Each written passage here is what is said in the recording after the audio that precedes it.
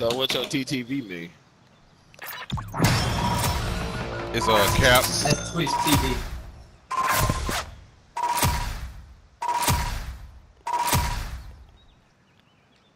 You see it's Yeah, lowercase. account, you be making money off that shit, man. You, you see it's lowercase, so that means I'm capping. You know what I'm saying? I ain't got no. Alright. It's lower. It's, it's, it's lower caps.